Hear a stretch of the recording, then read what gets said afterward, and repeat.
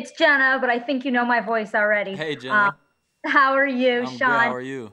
I'm good. Um, I, I saw on on the video where you were mic'd up, and it was very entertaining. You you said to Antoine Winfield Jr. you you likened him to a brother. Uh, what made you say that, and what's so special about this guy to allow him to to earn that type of praise so quickly? Um, I don't know. I mean, I feel like once Winfield got here, we kind of clicked uh, automatically. Um, I mean, we're not too far in age; we're a year apart, but um, I don't know. I guess it's just a connection on the field and off the field. You know, we can talk about football stuff, we can talk about video games, we can talk about sports. So it really doesn't matter. Um, and I feel like we just have that type of relationship where I can kind of just look at him as like more than a, a teammate. And I, I have that with a lot of guys, but um, his was his was rather quick than than not. So. Yeah, I mean, what went through your mind there out on the field when uh, when he got that sack force fumble there, which really helped get things rolling for you guys as a defense? And I know Jordan had a pick before that, but but what did that do for you guys? Yeah, I mean, it, it made us excited. Obviously, it turned me up a lot. Um, I mean, it's just a big play by a big time player, you know, and and for it being his first, you know, turnover causing the game, it was a real big thing to him. It was a real big thing to all of us. Um, and he was nominated, you know, for the Rookie of the Week and stuff like that. Um, so I was really, really excited for him. He told me he was going to do it. So um, just to see him do it, it was kind of like he caught his own shot. So um, it was it was kind of cool. Thank you. All right, next is gonna be Rick Stroud. Sean, I, I don't know that everybody knew you played with that much swag out there. Is, is that is that always kind of been a part of your game, or after you know getting having a good rookie year, right? Uh, that that confidence now has it just transferred onto the field uh, every week? Yeah, Rick. Um, I think that uh, I think that I was born with swag, obviously, um, and I don't think that my swag has ever went away. I'm a very confident guy. I'm a very confident player.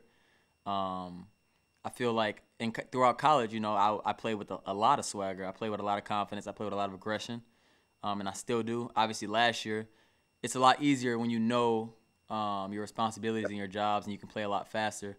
You can react to a lot of things differently and do um, kind of be yourself. And um, a lot of guys, you know, they play with either a lot of uh, juice, aggression, or you got guys that need to be, you know, completely locked in to, to do their job. Um, but for me, it's like I need to be relaxed. I need to to to, to feel at peace um, and just have fun. And, and, you had you had fun in the locker room uh, with the TikTok. whose, whose idea was that? Is yeah, that is that yeah, be a thing? Yeah, I had a lot of fun with that. I, I yeah, I did. I had a lot of fun. All right, our next one's gonna be Greg Auman. Hey, Sean, obviously it comes down to making plays when you have the chance, but to look at the two games you guys have played as a defense and have the first game w- with no interceptions and then the second game uh, with as many takeaways as you did, what's the key to, to making that the norm for you guys the rest of the way? Um, the key to just taking the ball away is just being consistent, um, being in the right pace at the right time, um, and just reading your keys and playing the ball. It's one thing to obviously um, have your receiver covered up, bottled up, um, but you need to get your head back around, look at the ball I know last week it was a play that I had um, where I was in coverage. It was it was tight coverage, um, but I didn't get my head around, so I wasn't able to make the play on the ball. And obviously, if if, if I did get my head around, the outcome probably would have been different. Um, so it's just being being consistent, being um, true to your keys, and, and kind of playing ball and, and reading what you see and, and, playing what you see. Thanks, Sean. And next is Ed Sean. I know you kind of talked about this a little bit, but you know, you guys as a secondary really seem to have a certain kind of camaraderie. And, you know, we, we, see the TikTok, we see, you know, the way you guys are in the field, you know, the way you guys lock arms before a game.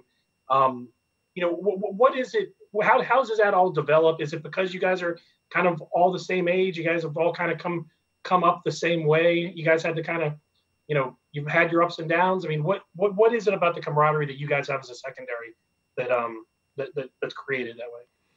Um, to answer your question, I would say, um, you know, we're brothers at the end of the day, and we we go out there each and every day and we fight for each other. Um, I feel like a lot of people from the outside world looking in, they don't think that we're as good as we think we are.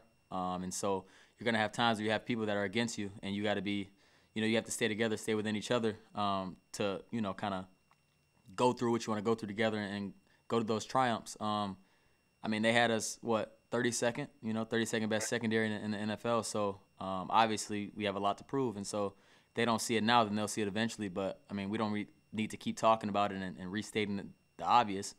Um, but we're gonna go out and battle, and we're gonna do our job each and every week. Thank you. Next is going to be Steve Isbitz. Sean, a lot of your teammates seem very excited just being around Leonard Fournette and his energy. What are you seeing in practice related to that, or what, or what can you say about that? Yeah, Leonard Leonard brings a lot of energy. Uh, he's a really he's a really funny guy. Um, him and Devin, they're kind of very similar in ways. Um, and he's kind of similar to myself in a way too. You know, he's always having fun. Um, but when it comes to locking in and playing ball, that's what he's gonna do. He's a baller. Um, he's gonna say what's on his mind. He's gonna, say how he's feeling. Uh, he's gonna have guys behind him, and, and he's gonna lead. And um, very, very good player, very good uh, human being off the field. Um, and I'm just glad he's here now. And coach had mentioned the defense was a little bit gassed very late in the game. Was there any kind of consensus from from you, you guys on, as to what happened? Um, just fatigue, probably. Um, you know, heat. Everything plays in transition to that, but that's something that we have to fight through. Um, and that's when the energy comes into play. That's where um, pushing each other and fighting for your guys and, and knowing that uh, each and every play matters. You know, Carolina was fighting um, to continue to be in that game, and so we can't slack off and, and, and take a play off or something like that because it could cost us a point. It could cost us, um, you know, make the game a lot closer, and, and maybe the outcome could be different. Um, but at the end of the day, we have to just keep within each other and just keep pushing and fighting for the, the guy next to you. Thanks. All right, next is Taylor Jenkins. Hey, Sean, going back to that mic'd up video, before Jordan's interception, you were saying scoot up, scoot up. And then after the play, you were telling him that you called it. But McCaffrey wasn't lined up on the play side, and he had only had a handful of targets coming into this game. What exactly did you see on that play that you were telling him to scoot up for? Was it McCaffrey or was it something else? Um, I mean, before the play even started, uh, Jordan Jordan knew what the play was coming. He knew everything that was coming. I just kind of reiterated it to let him know that he was he saw what he was seeing. Um, it was just a lot of film study. Uh, I'm not gonna tell you exactly what I saw because um, yeah. I don't want to give away my tricks and my tips. But uh, at the end of the day, you know, he knew that the play was coming. I, I told him, I reminded him that it was coming. I just wanted him to scoot up um, to get him in a better position to make that play um, and to clear up my read a lot because it, it, made my read a lot easier. And so he did it. That's what happened, and uh, he made the turnover, made a good play and you guys have a really young defensive backs room. So to see that kind of communication and and that that um just cerebral play, what do you credit to this young secondary coming so far from a mental aspect, with most of you really only being in the league in your second, third years? Um, just just being accountable, uh, holding each other accountable for everything that we do. Um, communicating is the easiest thing. I mean, we communicate each and every day. Everybody talks to each other. Um, and why would that change on the field? You know, if anything, it should get even more, um, more you know, vocal. And so the more you talk, the more it's easier to see things. It's easier to read things.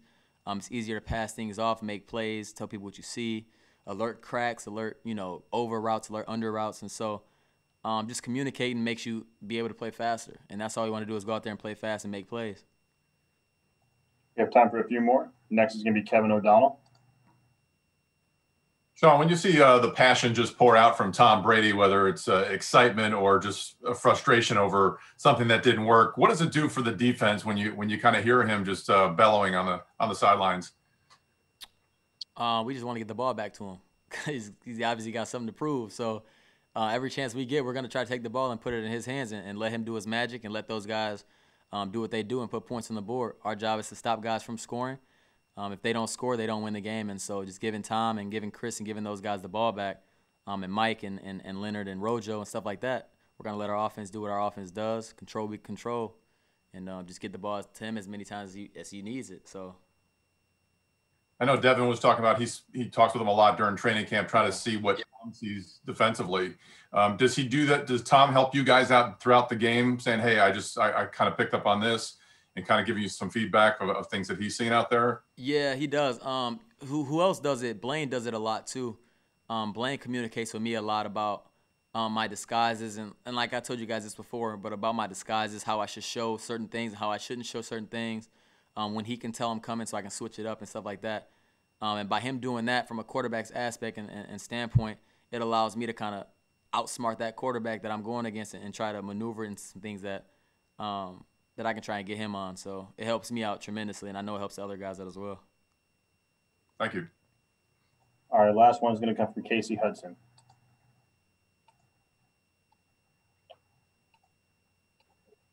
Casey. Casey. Can you hear me? Yep. Yes. There we go. Hey, Sean. All right. Last week, um, kind of in unison, a lot of the defensive players were mentioning that their goals coming out of week one were to get their hands on more balls and get those interceptions and make more tackles. You guys executed some of those goals this past Sunday. So as you prepare for the Broncos, what are some new goals heading into week three, and how confident are you that you guys will be able to execute even more? Uh, number one goal is to win. Um, take the ball away, and that's always our goal each and every week. Is to just create turnovers. Um, no, no big plays, no balls over top of our heads, uh, no big runs, and so um, by doing all those things, you know, we have a, a really good chance of winning the game. Um, and, and just being locked in throughout the week, it allows us to to be focused and to know our jobs and and you know make less uh, mental errors and mental mistakes because that's what really costs you ball games. Um, penalties are a big thing. Um, and I know as, as the DBs go, um, you know, this week we're, we're really emphasizing on um, our hands and, and making sure our hands are in the right placement. We're not tugging guys, not pulling guys. Um, and, and we're making sure we're reading our keys and just playing the ball and not, you know, getting um, pass interference calls that we don't need to get. So um, that's kind of what we're focused on, and we're just going to keep working on those and, until we get um, to where we want to be. Awesome. That's all for today. Thanks, Sean. Thank you guys all for uh, asking me the questions. Have fun.